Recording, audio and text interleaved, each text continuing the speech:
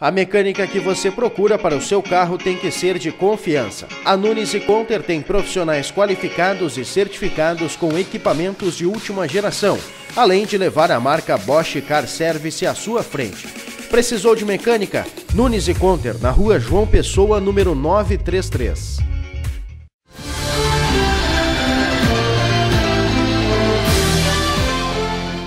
O preço médio da gasolina ainda assusta os motoristas na região centro-sul do estado.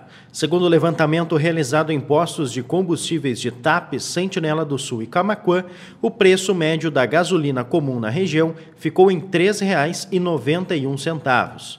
Já a gasolina aditivada tem o preço 5 centavos mais caro. A média é de R$ 3,96. Para os caminhoneiros, o diesel comum tem preço médio de R$ 2,94. O álcool é a alternativa mais barata, R$ 3,60 o litro. O último reajuste da gasolina nas distribuidoras foi de 10 centavos e 3 centavos para o litro do diesel. O motivo foi a elevação no valor do ICMS em março desse ano. O posto Free Oil em Tapes tem a gasolina mais barata encontrada na região, o litro na bomba custa R$ 3,81.